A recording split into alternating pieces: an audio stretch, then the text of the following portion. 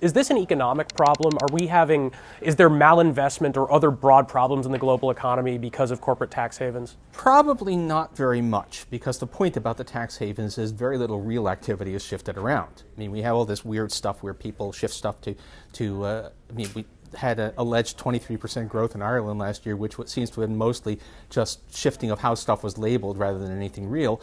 Um, and the so point that, is, so that's a key point. Apple is saying we earned all this income in Ireland, and Apple owns a lot of intellectual property, so it can be ambiguous where exactly their income right. comes I, from. Yeah, I think yeah. the concern is, in fact, the revenue, and not just. I mean, remember that governments have to pay their bills. So if they can't get it from corporations, if this kind of thing goes on, and, and one source of revenue dries up, then other things have to be taxed, and then you have real economic costs from those other taxes.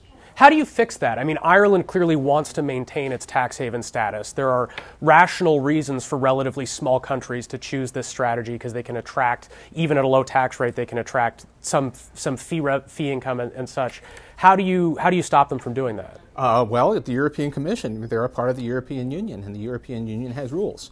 So it's it's a that's I mean to some extent you do it by to the extent you have supranational bodies, they have rules. You can also have international agreements. We can put pressure on countries that don't subscribe to those agreements. I mean, this has been a long-standing concern, not just within Europe. We have the OECD has been pushing this issue.